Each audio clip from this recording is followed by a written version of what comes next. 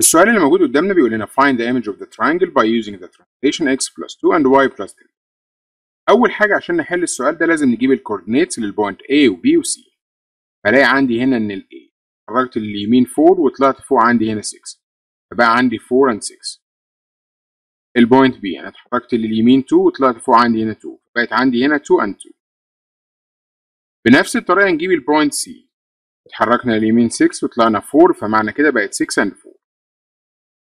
تعالى دلوقتي نجيب ال image. أنا مطلوب مني أجيب هنا ال x plus 2 وال y plus 3 يعني معنى كده كل x هعمل لها plus 2 وكل y هعمل لها plus 3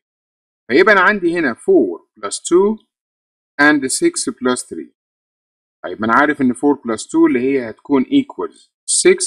و6 plus 3 equals 9 بنفس الطريقة. 2 plus 2 and 2 plus 3